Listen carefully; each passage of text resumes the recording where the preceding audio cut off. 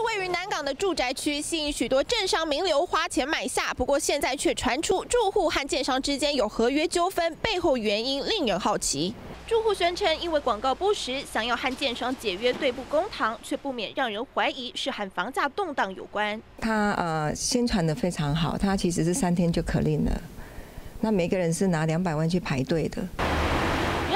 三年以前，南港住宅区房价居高不下，还不断持续往上走，一平最高可以卖到一百万。后来因为房价向下修正，在二零一三年到二零一四年之间，房价降到了一平八十万，降幅达到百分之二十。